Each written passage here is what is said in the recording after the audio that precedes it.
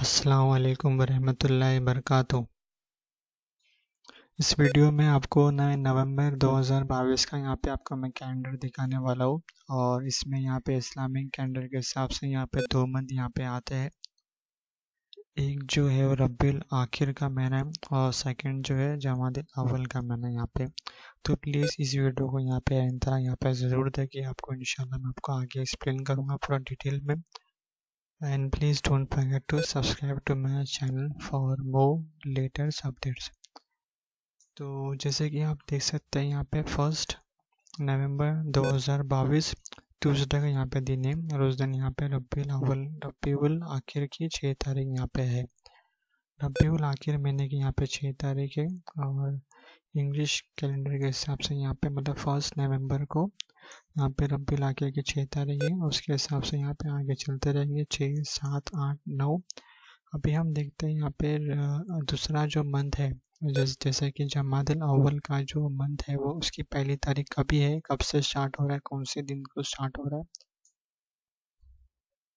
तो जैसे कि यहाँ पे आप देख सकते हैं, ये रबी आखिर की उनतीस तारीख है। रबी आखिर की तीस तारीख यहाँ पे है और जमादिल अव्वल की जो पहली तारीख है वो इंशाल्लाह जो रहेगी वो ट्वेंटी सिक्स को यहाँ पे रहेगी। मतलब ट्वेंटी सिक्स नवंबर दो हज़ार बाईस सैटरडे का दिन रहेगा इंशाल्लाह यहाँ पे पहली तारीख जो रहेगी जमादिल अव्वल महीने की।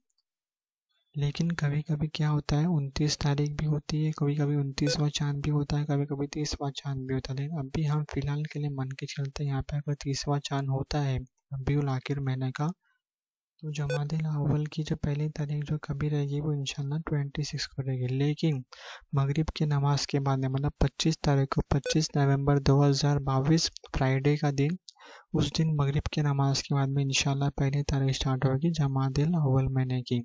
अगर अगर उनतीसवा चाँद अगर होता है तो इंशाल्लाह ये चौबीस तारीख की मगरिब की नमाज़ के बाद में इंशाल्लाह स्टार्ट होगी, पहली तारीख जो रहेगी जमादिल अव्वल की। लेकिन अभी हम कंफ्यूज नहीं करते हैं अभी हम मान के चलते हैं, पच्चीस तारीख को इंशाल्लाह अगर होती है चाँद रात अगर होती है रबी आखिर की तो इंशाल्लाह जो पहली तारीख जो रहेगी मतलब जमादिल अव्वल महीने के दिन के हिसाब से वो छब्बीस तारीख को रहेगी।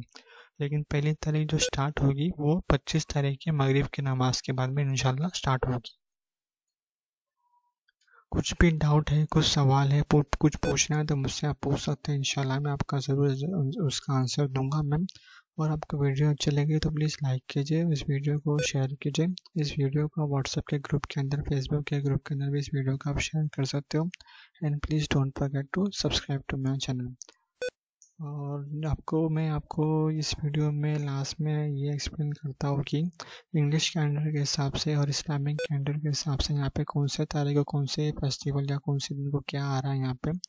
तो जैसा कि आप देख सकते हैं यहाँ पे आठ तारीख को यहाँ पे इंग्लिश कैलेंडर के हिसाब से यहाँ पे ट्यूसडे का दिन रहेगा यहाँ पे। आठ नवंबर 2022 ट्यूसडे का यहाँ पे दिन रहेगा उस दिन यहाँ पे जो फेस्टिवल जो मनाया जाएगा वो जो जो रहेगा वो गुरु नायक जयंती रहेगी यहाँ पे।